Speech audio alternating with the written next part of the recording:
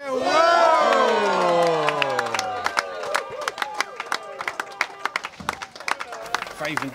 41. Maar dit had ik toch niet zo met elkaar? In februari, maart zaten we bij Niels en we gingen trainen met elkaar. Toen zeiden we van nou, we gaan nu veel doen, want de lockdown is weer voorbij.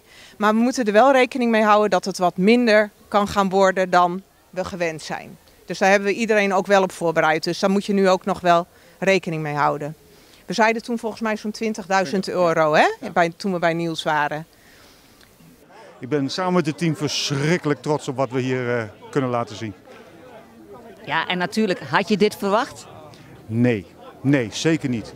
Dat, uh, ik, heb ze, ik heb de teamcaptains vlak voor de roperun een overzicht gestuurd. En ik zei, nou, er komt nog wel een beetje aan. Waarschijnlijk gaat de donatiemodule gaat ook nog wel wat doen. Want die stond voor de roperun op slechts 2.500 euro. Nou, die is geëxplodeerd tijdens het weekend. Dus dat, uh, dat heeft hij echt aan bijgedragen.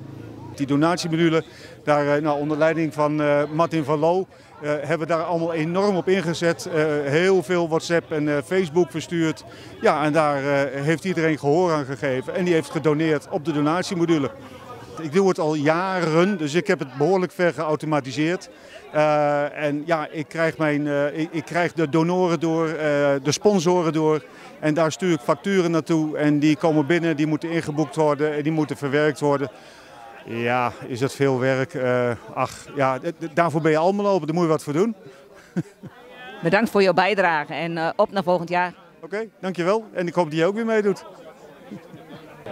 We doen allemaal onze dingen op onze eigen manier. Maar toch wil ik twee mensen in het zonnetje zetten. En dat zijn onze teamcaptains. Want we doen het allemaal. Maar zij doen net dat stapje extra wat wij niet zien. Achter de schermen wordt zoveel werk verricht. En vaak valt het niet op, maar ze doen het wel. Dus daarom hebben wij bedacht dat de teamcaptains echt even in het zonnetje gezet mogen worden. En dat zal Dieneke nu een klein aardigheidje opvallen.